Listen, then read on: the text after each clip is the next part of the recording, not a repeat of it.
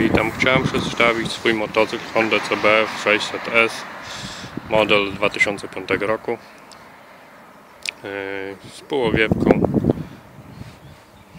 tak mniej więcej to wygląda. Nowe opony.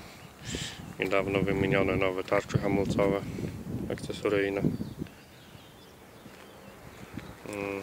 z przodu i z tyłu. Zestaw napędowy. Nie jest nowy, ale dość dobrym stanie technicznym, jeszcze można parę sezonów polatać. Przodu i z tyłu opony Pirelli Diablo. Yy, Praktycznie mają przejeżdżony jeden sezon. Okład wydechowy fabryczny, bez żadnych uszkodzeń, przytarć, podobnych rzeczy, które świadczyłyby o ślizgu bądź jakiejś glebie parkingowej. Z tyłu oczywiście też tarcza nowa.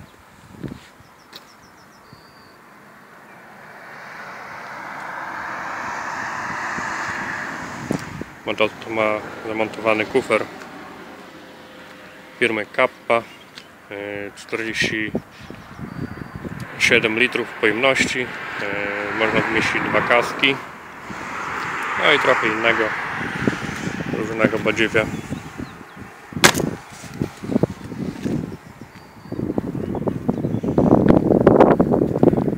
prędkość maksymalna ponad 200 km na godzinę.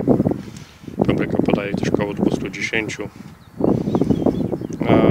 na autostradzie można się rozpędzić do licznikowych 220 km na godzinę. Tak to mniej więcej wygląda Oprócz tego motocyklu została zamontowana wyższa szyba firmy Givi. Jest to około 14 cm dłuższa od oryginalnej. Plus dodatkowo yy, zamontowany jest deflektor firmy Darko Jack, którego celem była likwidacja wibracji kasku przy dużej prędkościach. No i naturalnie zmniejszenie szumu powietrza.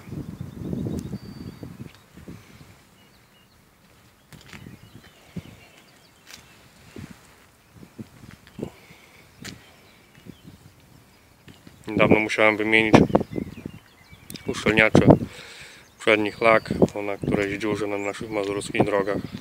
Niestety jeden zaczął się pocić. Tak więc motocykl przygotowany do sezonu, tylko jeździć. Olej naturalnie, motul 7100, pełny syntetyk. Praktycznie oleju nie pobiera od momentu zalania jakieś 6000 km wstecz.